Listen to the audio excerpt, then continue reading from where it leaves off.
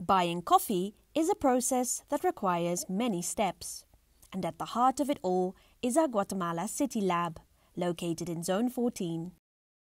When a producer wants to sell us a lot of coffee, the first step is to deliver a parchment sample to us, either to our office or to our Huehuetenango warehouse. These samples, complete with the producer's name, farm name, lot volume, and geographic location, will be carefully examined and cupped in order to determine whether they meet our quality standards for purchase.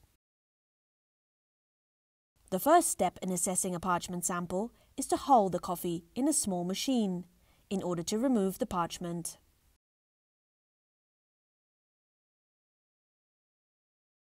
Once the sample is hulled, it is weighed and sorted for defects by the lab team.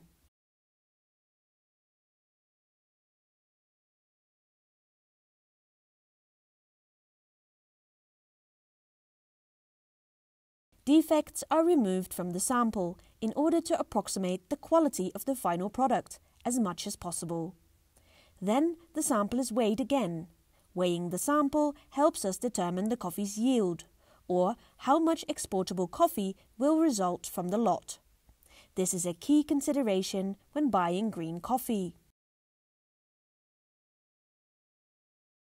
Then the lab team will collect additional data about the sample. The coffee's moisture content is important because it indicates whether drying was done correctly. The lab also takes a water activity reading to understand how water acts and moves inside the green coffee beans.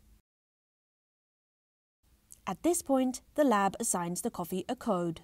This is done so that the producer's name will be anonymous, which ensures a fair and unbiased assessment of each lot. Each sample is roasted in our Probat sample roaster. Then the offer sample will be cupped by our team following standard cupping protocols.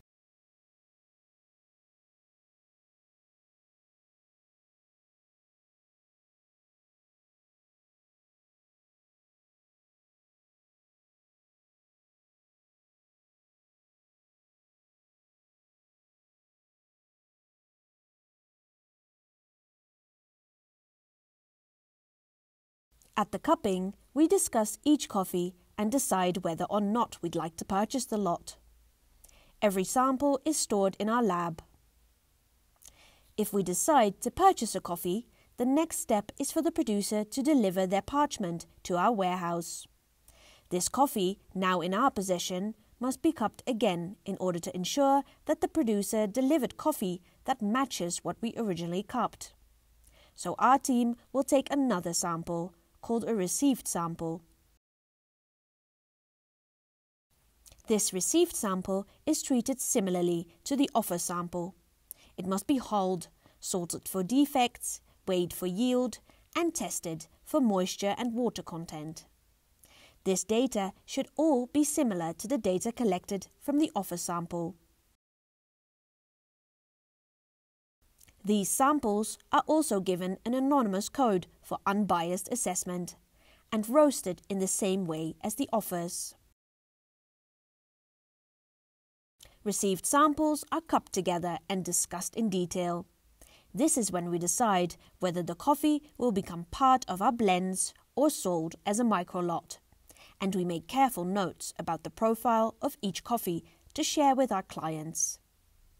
When the received coffee is approved by the cuppers, we authorize payment to each farmer, which will be received within a few days. The received sample is also stored in our lab because we send samples to our clients and also recup the coffees at various times throughout the year.